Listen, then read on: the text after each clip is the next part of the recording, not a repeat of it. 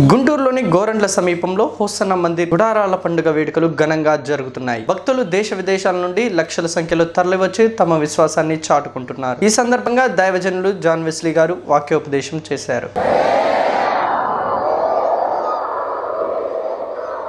మంచిది you have great decision మంచి నిర్ణయం తీసుకున్నారు. ఒకప్పుడు వాళ్ళందరూ వెళ్ళగొట్టాడు ఇప్పుడు సమస్యలు అధికమైపోయేసరికి దేవుడు మాట్లాడకపోయేసరికి యాజకులు మాట్లాడకపోయేసరికి ప్రవక్త మాట్లాడకపోయేసరికి ఎవరి దగ్గర యోచన చేద్దాం ఎవరి దగ్గర విచారణ చేద్దాం వాళ్ళ దగ్గరికి వీళ్ళ దగ్గరికి పరిగెత్తాడు. చివరికి చచ్చిపోయాడు.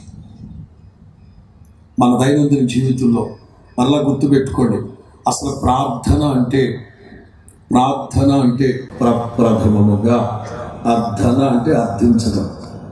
మన దైనందిన జీవితంలో మనకు ఏది అవసరమైన నష్టమైన కష్టమైన ఇష్టమైన అక్కడ ఉన్నవన్నా అక్కర్లేనివైనా సంతోషమైన బాధ అయినా కన్నీళ్ళైనా కడగండ్లైనా వడగండ్లైనా వాట్ ఎవర్ ఇట్ ఈస్.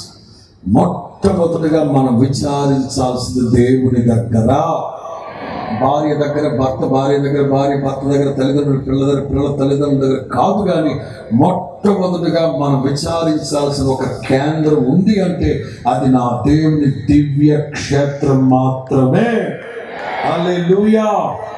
ఇంకొక విషయాన్ని కూడా నేను తెలియపరుస్తాం ఇంకొక విషయాన్ని కూడా. స్థుతి ఆరాధన చేసే స్థుతి ఆరాధికుడు. ఒకానొక సందర్భంలో ఓ కీర్తన రాసి దానికి ఒక శివరంజని రాగాన్ని అంటగట్టి అందరినీ పాడమంటున్నారు. ఏమనో తెలుసా? ఆసాపు పశుప్రాయుడయ్యాడు. ఆసాపు పశువులాగా గడ్డి మేసాడు. పాడండి. కానీ మేము పాడమండి అన్న నేనే కథ రాసింది. పాడమంటున్నాను కదా. పాడండి. మేము పాడమండి.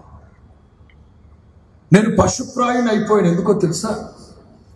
భక్తిహీనుల క్షేమం నా కంటపడ్డప్పుడు మత్సర పడిపోయి జీవం గల దేవుణ్ణి విడిచిపెట్టి ఈ లోకస్తుల వైపు చూసి నా జీవితంలో ఇలాంటి పరిస్థితులు ఎందుకు వచ్చాయో నా దేవుని దగ్గర విచారణ చేయకుండా వాళ్ళని వీళ్ళని వీళ్ళని వాళ్ళని చూసి తన మానాన్ని తాను దీవించబడుతూ ఆశీర్వదించబడుతూ ఉంటే చూసి మత్సరపడి పశుప్రాయుడు అయిపోయాడు నా దేవుని ప్రియులారా దేవుని కార్యాలు యహోవా కార్యాలు దొడ్డవి గంభీరమైనవి పశుప్రాయులు వాటిని వివేచించరు వాటిని గురించి ఆలోచించరు వాటిని గురించి సంభాషణ చేయరట. మన దైనందిన జీవితంలో ప్రతి విషయంలో దేవుని దగ్గర విచారం చే అక్కడ నేను ఆ ఎహెస్కేల్ గ్రంథం ముప్పై ఆరో అధ్యాయంలో లెక్కలేని వాగ్దానాల వర్షం కురిపిస్తారు అక్కడ దీవెన వర్షం కురిపిస్తారు అక్కడ దేవుడు. అవన్నీ మన జీవితంలో జరగాలి అంటే మనం ఆయన దగ్గరికి విచారం చేయాలి ఇందాక చెప్పారు దైవజనుడు అసలు విచారణ చేయాలంటే ఆయన ఎక్కడున్నాడో కనుక్కోవాలి కదా. యోగ అంటారు యోగ ఇబ్బందులు ఉన్నాయి. నేను ఆయన దగ్గర విచారణ చేయాలి.